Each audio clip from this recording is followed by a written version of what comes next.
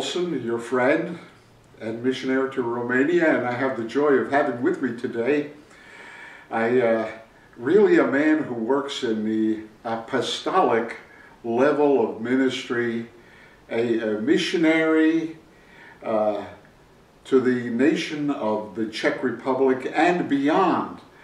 Uh, his name is Sang Nam, and uh, I'm thrilled to have you here with us today. Thank you, thank you. And uh, we're here in Chesapeake, Virginia, enjoying a time of fellowship together.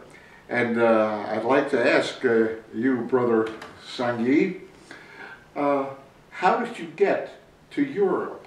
What happened? Uh, I was a professional soldier. Of course, I, at the time I was a Christian. And God called me quit my mi- military job in Korea. And uh, I quit my military job and uh, I went to theological seminary, full gospel, where Pastor Yonggi Cho was uh, president of this school. And I went there and I studied. And I became a, later on uh, pastor of one local church in Korea. At that time, 1990 January, we had a mission conference. At that time, we had a, uh, guest speaker from Europe, from Germany, from Switzerland, one from Holland. They came to challenge uh, Korean young people, and they asked us a question. They said, "What do you think about Europe?" And we said to them, Europe is Christian continent. When we see the statistics, 95 or 80, 75 percent of the population are Christian. And if somebody want to be a missionary, he shouldn't come to Europe, but go to Africa, Asia, Latin America. And they said, you are wrong. Europe is not Christian continent, it's pagan continent and they challenge with this uh, Bible verse, come over to Europe and help us. White men ask uh, yellow people to come over to Europe to help us. And they said, don't come to Europe to study theology. You can uh, study theology in Korea, but come to Europe to preach the gospel, plant a church, encourage people and uh, train leaders. I took that message as my calling. Uh, that was uh, January uh, 1990, and I went to my church and asked leadership whether they will send me to Europe and support me and pray for me. And they said, uh, we know you, we trust you, so we'll send you. Yeah. So they sent me at that year, July 1990 July, and uh, at the time I left alone without my wife and two children. For six months I went to England to study intensively English because at the time I didn't speak uh, English. I didn't know anybody in Europe, but I went, I obeyed God's calling. And then later on, my family joined to me in England, and we stayed two years all together in England. Uh, the purpose was especially for training. And then I came to mainland uh, Germany. Uh, I stayed in Germany for six months and a few months in Switzerland. We have local church there. We had a good cooperation. Uh, some local church in hmm? Switzerland, in Germany, and Poland, uh, uh, uh Holland. And then 1993, we settled down in Czech Republic. So you're, you're, you're now in the Czech Republic. Yeah. What is the Czech Republic like? Czech Republic was uh, one of a communist country. So you know Eastern Europe hmm, is, yeah. was a communist country and also it is a Catholic country. 65% of whole population claim they are Catholics, Roman Catholics. And uh, there are uh, few Christian churches. And uh, statistics say that 0.01 are born again Christians. 0.01%. Yeah, That's a very little. yeah. They need a missionary. They need a missionary, they need Jesus, they need gospel. Yes, yes. So you have settled down there. What have you done in, uh, that's 24 years now since you left Yeah. Korea. Um, what, what, what have you done in, uh, in, in the Czech Republic? When I came to Czech Republic, I had to know culture, know uh, churches and uh, all these things. So I began to co-work with one Methodist church uh, because- this Methodist church was very charismatic and Pentecostal uh, direction. They asked me to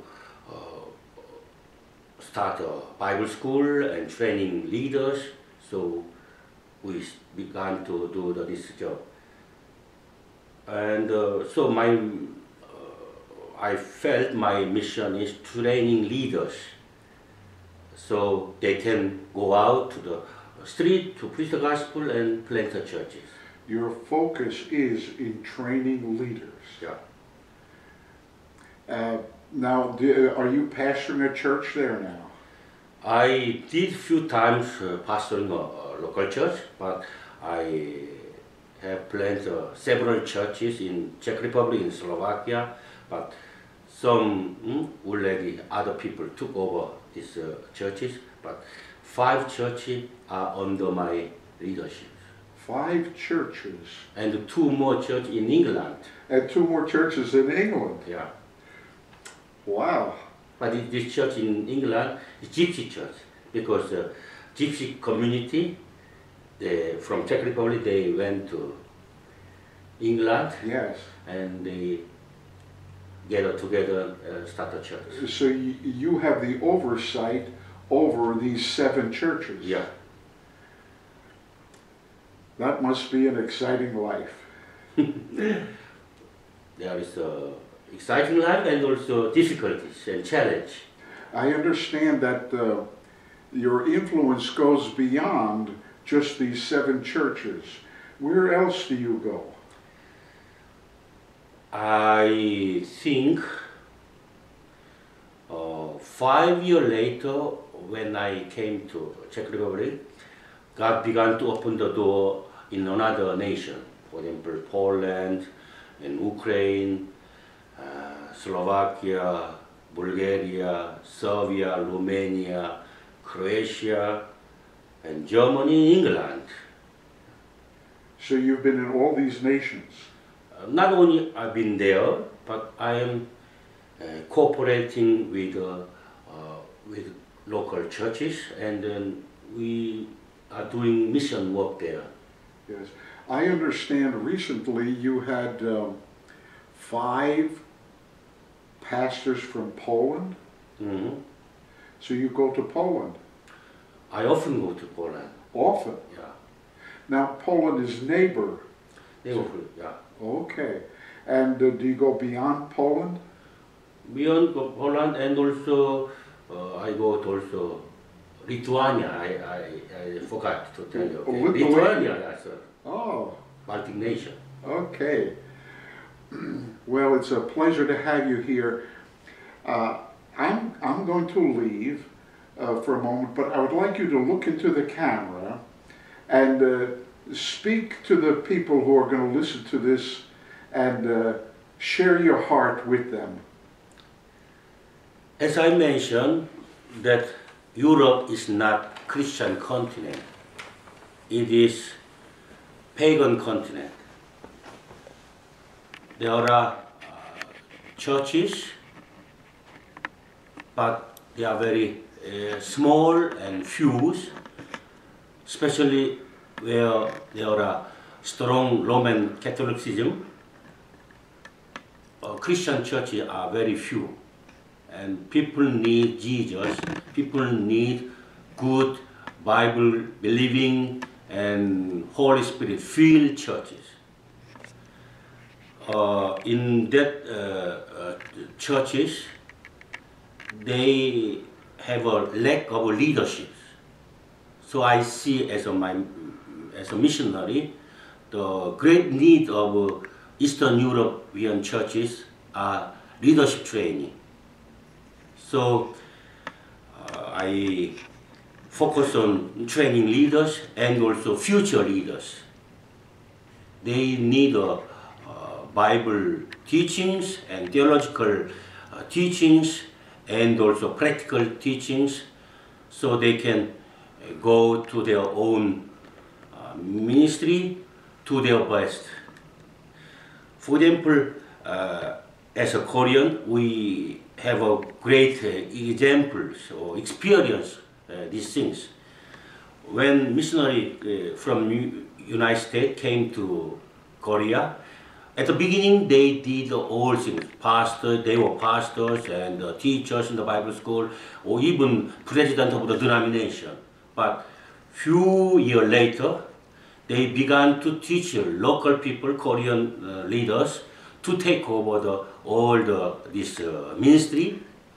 And even though they were a little uh, weaker than the missionaries, but they did their and the Korean church began to grow uh, amazingly.